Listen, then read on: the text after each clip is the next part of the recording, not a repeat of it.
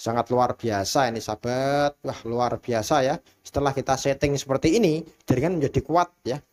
Wah kuat banget. Padahal jarak saya ini jauh banget ya. Tetapi cara memperkuat sinyal wifi jarak jauh di Android ya.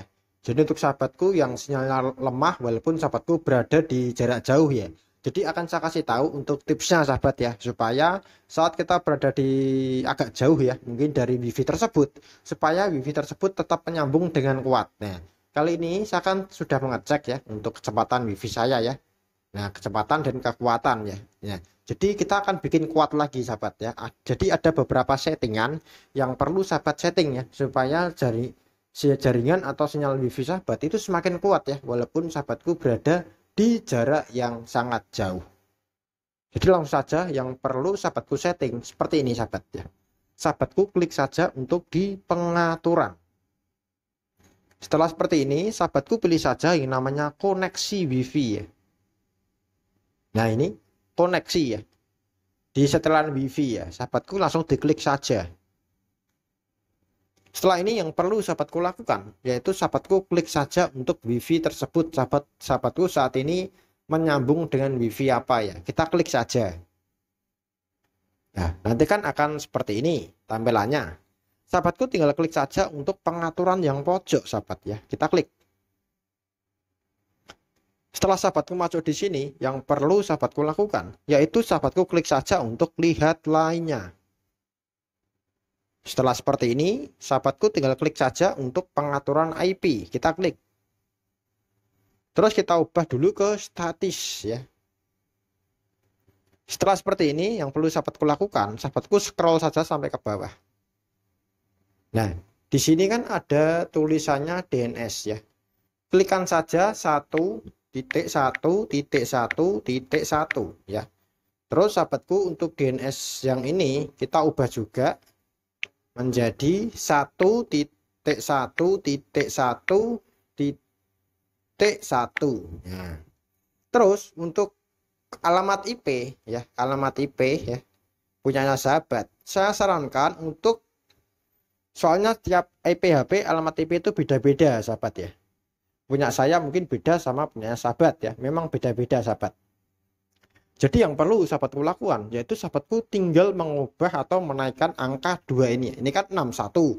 Jadi akan saya naikkan menjadi tinggi ya. Misalkan 65 ya atau 70 ya atau 75 ya. Saya sarankan jangan tinggi-tinggi sahabat ya. Minimum jarak sekitar mungkin maksimal 20 ya. 20 kelipatan ya. Tadi kan saya ini 61 ya kalau nggak salah ya. Terus kita akan coba ini 60 apa 61 lupa tadi ya. Yang penting kita naikkan sedikit ya. Saya akan menaikkan 10 ya. Tadi kalau nggak salah itu 61 ya sahabat ya. Jadi kita akan naikkan menjadi 70 sahabat.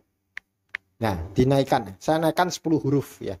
Silakan ya sahabat nanti kalau misalkan di sininya angka belakangnya misalkan 55, silakan dinaikkan menjadi 65. Ya, silakan. Atau punya sahabat itu tadi di kelipatan 60 silakan dinaikkan menjadi 70 ya atau 75 terserah sahabat ya. Yang penting jangan terlalu tinggi langsung ya. Jadi setelah seperti ini saya ubah menjadi 70 70 ya.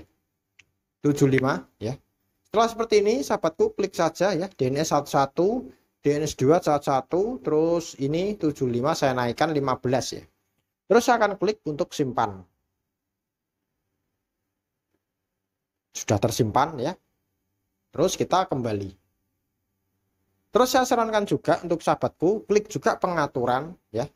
Sahabatku jangan lupa untuk menghapus ya aplikasi yang sudah tidak dipakai ya. Ini juga sangat mengganggu jaringan wifi kita ya.